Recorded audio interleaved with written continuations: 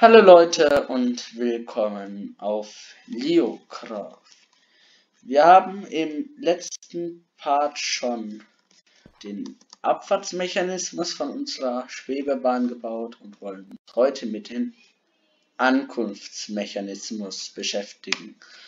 Dafür brauchen wir ein Observer, ein bisschen Redstone, einen Trichter, einen Spender, ein paar Verstärker, ein paar Komparatoren und die ein oder andere Fackel. Und natürlich auch noch einen normalen Block. Den brauchen wir auch etwas öfters. Ja. Ansonsten haben wir alles.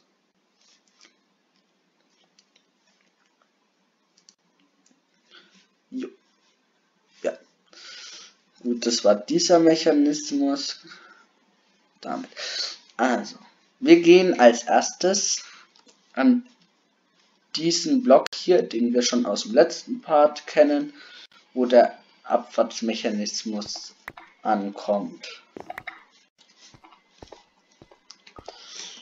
Allerdings gehen wir da in die andere Richtung mit einem Repeater auf dem vierten Delay und dann verlängern wir unser Signal. Das macht man einfach so.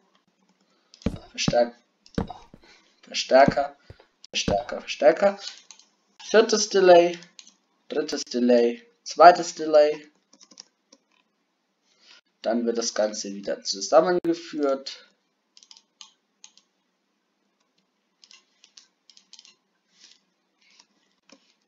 Geht einmal nach links in einen Verstärker, an den dann ein Komparator so angeschlossen wird und andersrum auch noch, wobei dieser ja alles offen ersten bzw. vierten Delay, also der muss aufs vierte Delay und der hier aufs erste. Dann wird daran unsere nette kleine RAM-Zelle gebaut. Komparator Verstärker. Die Technik wird verbunden. So. Ja, dann haben wir schon mal den ersten Teil. Jetzt gehen wir hier an unseren Observer, diesen hier, platzieren da nochmal einen Observer dran, wessen Output wir hier erhalten. Das wird dann hier einfach runtergeführt. Und wie triggert der dann? Ach, ganz normal von hinten. Gut.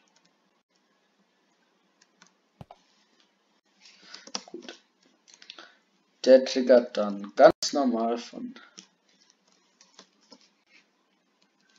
Ah, wir brauchen zwei Blöcke Platz da am Anfang. Also gehen wir nochmal hier runter. Und dann hier rüber. Der triggert ganz normal unseren Spender.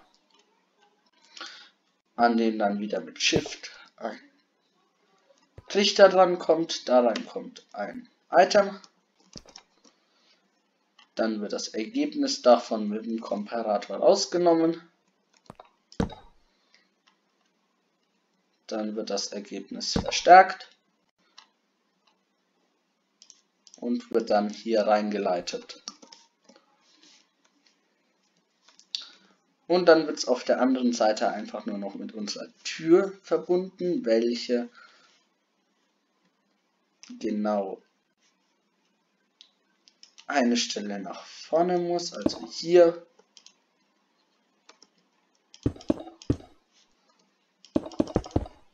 Hier kommt unsere Tür hin. Ich würde empfehlen, eine Eisentür zu nehmen.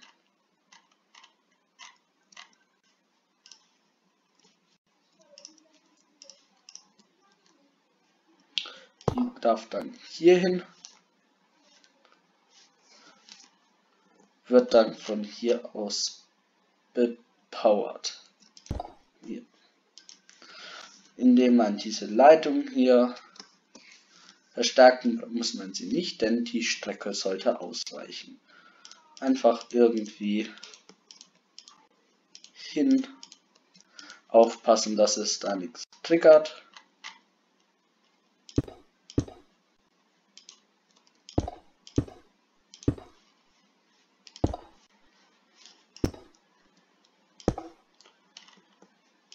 So hin verlegen. Wichtig ist zum Schluss, also hier muss es dann nochmal in den Verstärker. Ja, so haben wir es nachgebaut. Das war unser Ankunftsmechanismus.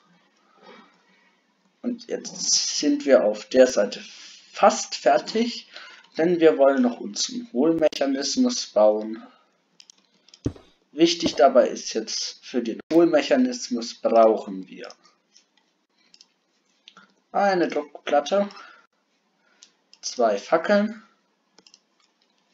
je nach Strecke eine größere Anzahl von Redstone-Blöcken und klebrigen Kolben, weil wir das Signal ja instant übertragen wollen. Wenn ihr das nicht haben wollt, braucht ihr die ganzen drei Teile nicht und nehmt stattdessen Redstone Verstärker. Und natürlich braucht ihr noch jede Menge Redstone. Ja. Anfangen tut indem ihr eure Druckplatte hier hin tut.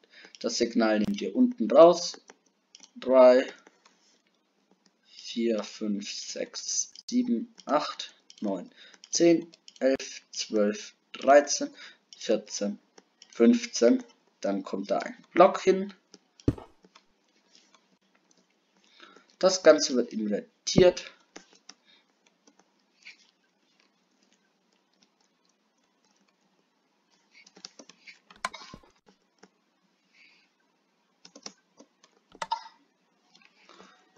Das war eins zu weit. Besser ist, man muss es ja nicht voll ausreizen. So, das wird einmal invertiert, wenn ihr die Hochgeschwindigkeitsleitung macht. Ansonsten kommt ab hier Repeater. So, jetzt wird eure Leitung gelegt. Solange wie sie noch an ist. Wenn sie dann ausgeht, muss es verstärkt werden, indem da ein klebriger Kolben hinkommt, der fährt aus. Ein Redstone-Block und danach so wieder was hin. Dann hier dasselbe wieder. So macht man das dann bis ganz vorne hin. Ich denke, das kann man off-cam machen.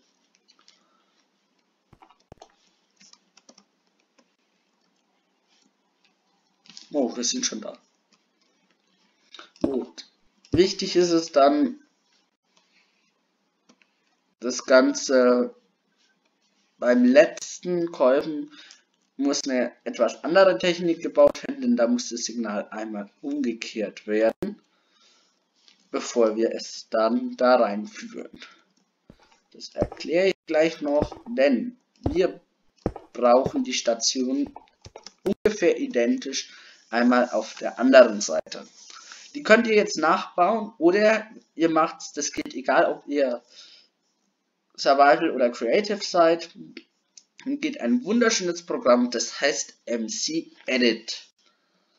Da gehen wir jetzt zusammen rein. Wir befinden uns hier in MC Edit, ein schönes Programm. Gehen wir mal rein, nehmen die Testwelt und laden die. So sieht das aus. MC Edit ist ein sehr gutes Programm. So, ja, da sind wir gerade. Da ist unsere andere Station. Es sieht ein bisschen anders aus, aber ich denke, man kann erkennen, was was ist. So, wir wählen jetzt die Station aus und zwar ihr das bewegen könnt ihr euch, wenn ihr die rechte Maustaste gedrückt haltet. Auswählen könnt ihr ganz normal mit der linken Maustaste. Und zwar braucht Zum Auswählen muss das linkeste Tool markiert. Und zwar wählt ihr dann hier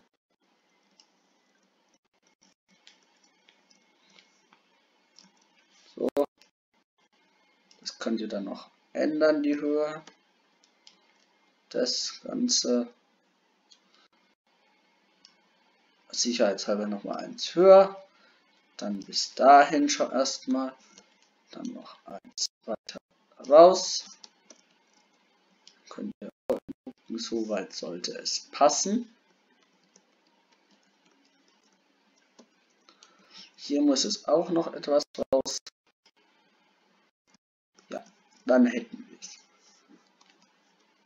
Sicher ist sicher, nochmal alles überprüfen, auch nach unten. Ist alles ausgewählt. Ja. Gut. Nicht MCL ist gewöhnungsbedürftig. Aber ich denke, trotzdem so deutlich einfach machen. Dann geht ihr hier auf Klon.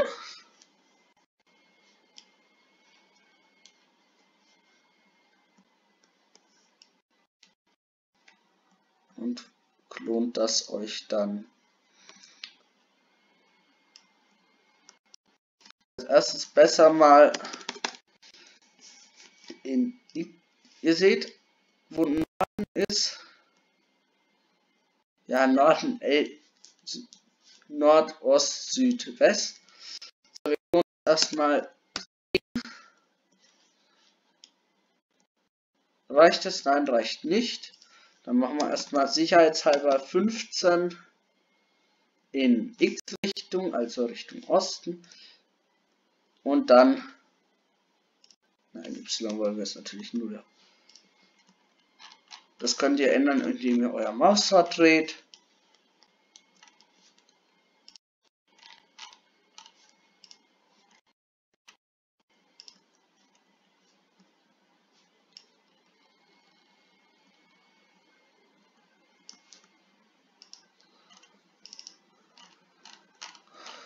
So, bis dahin, wo ihr es haben wollt.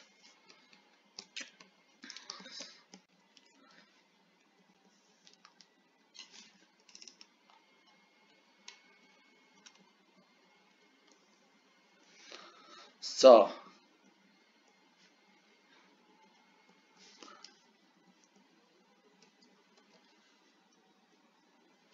Noch ein bisschen zurück. Jetzt. Jetzt kann man die 15 wieder rausnehmen. Zack. Jetzt wird's wichtig. Wobei, wir lassen die 15 besser nochmal drinnen. Weil jetzt wird's echt wichtig. Jetzt müsst ihr auf Mirror gehen. Warten. Und schauen, ob das jetzt der richtige Mirror war.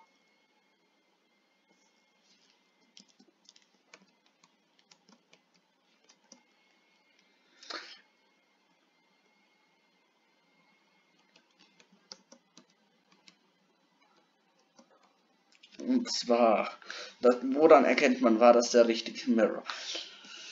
Und zwar müssen wir an dieser Kante hier spiegeln. Mirror heißt Spiegel. Das heißt, danach müsste die Technik schon mal nach auf die andere Seite gehen und das müsste auf der richtigen Seite sein. Ich denke, das klappt. Dann kann man die 15 wieder rausnehmen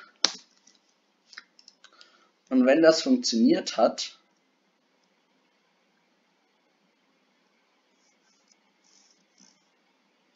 kann man das dann klonen. So. Danach könnt ihr mit Steuerung S speichern. Es dauert etwas und dann können wir MC Edit auch beenden und gehen wieder zurück nach Minecraft. Da sind wir wieder und wir müssen aber noch das Spiel mal neu laden. Zack, zack, Testfeld. Dann sollten die Änderungen aus MC Edit gemacht sein. Ihr seht, funktioniert. Ganz wichtig ist, ihr müsst jetzt diese Gondel wegnehmen. Als allererstes muss dieser Observer weg. Danach der Observer weg.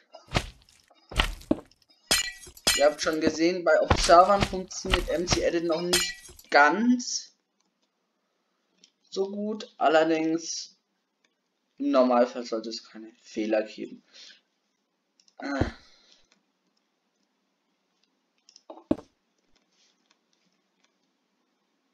Ja.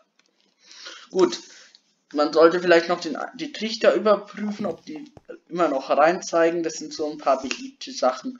Und auch Komparatoren werden manchmal andersrum gesetzt. Genauso wird Redstone nicht immer aktiviert. So haben wir hier einen Fehler gemacht.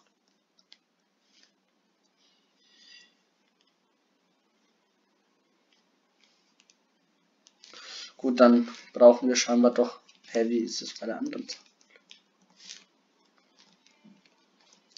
Es kann auch sein, dass es. Ah, das könnte durch Spiegeln gekommen sein, oder? Nee.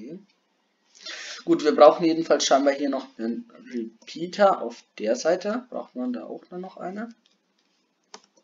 Wenn ich jetzt mal hier Strom drauf gebe. Oh, tatsächlich. Also man braucht hier noch irgend, an irgendeiner Stelle einen Repeater.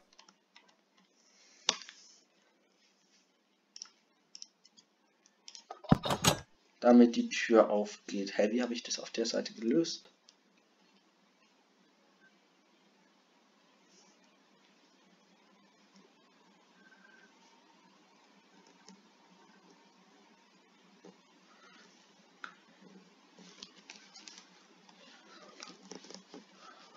Nehmen wir es so lange aus bis zum Lichter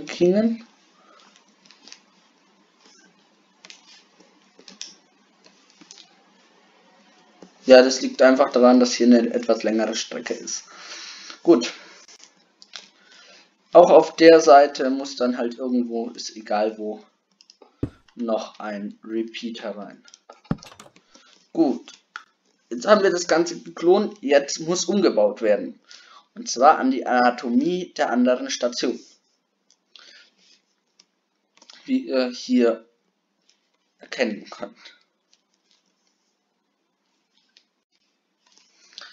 Und zwar, wir fangen an, wir nehmen hier das hier abreißen, die beiden Blöcke, und die jeweils eins tiefer setzen und natürlich auch wieder mit Redstone verbinden.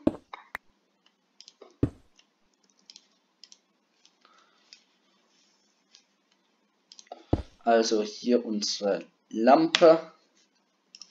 Zack. Und auf der anderen Seite den Beobachter. Lampe. Beobacht, Beobachter, so. Dann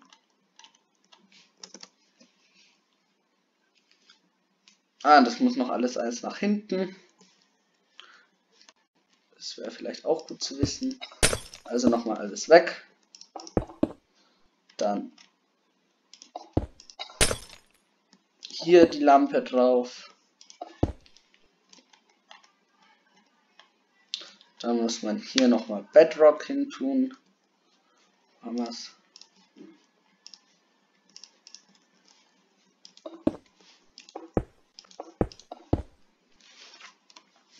So, dann sollte das auch gehen. Natürlich der Observer. Der muss dann hier hin. So, jetzt. Jetzt funktioniert auch das einwandfrei. Nur hier muss noch ein Redstone. Das funktioniert dann. Auch mit der Gondel. Das ist getestet. So. Es ist ja jetzt halt mal spiegelverkehrt. Dagegen kann man mit der Methode von MC Edit nichts machen. Mit der anderen auch nicht so viel. Aber ich denke, das stört keinen. So, nun nur noch. Ich mache es jetzt mal endlich wieder Tag damit ich euch hier diese Variante machen kann.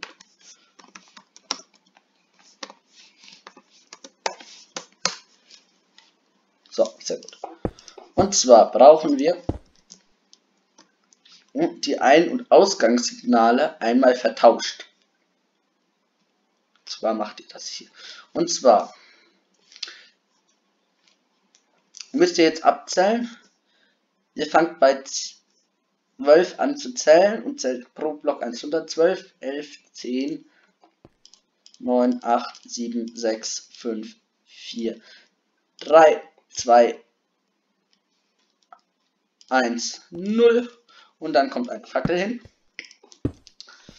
So, jetzt müssen wir mal genau gucken, wie das gemacht wurde. Fackel, Block und dann von unten her bepowern. Gut. Also, wir bepowern schon mal von unten.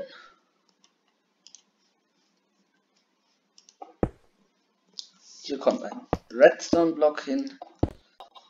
Dann kommt hier unser Kolben hin. Und der Kolben wird von hier bepowert. Ja.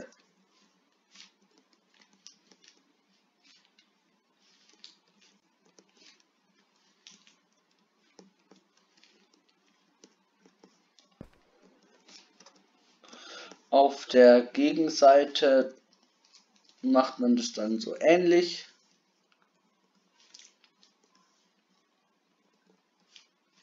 Das werde ich dann euch aber auch gleich noch zeigen. Wir haben jetzt hier das erstmal angeschlossen, den Hohlmechanismus. Und auf die, der anderen Seite macht man den dann eigentlich genauso. Man fängt hier an.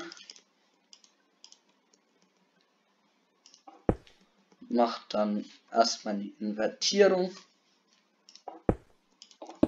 Zack. Zack. Dann kommt hier die Überleitung.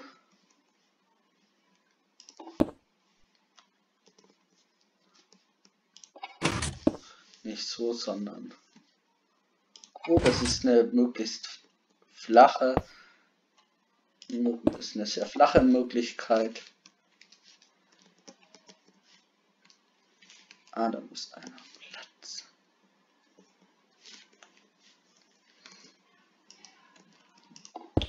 So kann man das dann drüber führen. Hier noch einen Block drauf tut. Beziehungsweise einfacher. Man führt das eins tiefer. Dann kann man mit seiner Instant-Leitung fortfahren.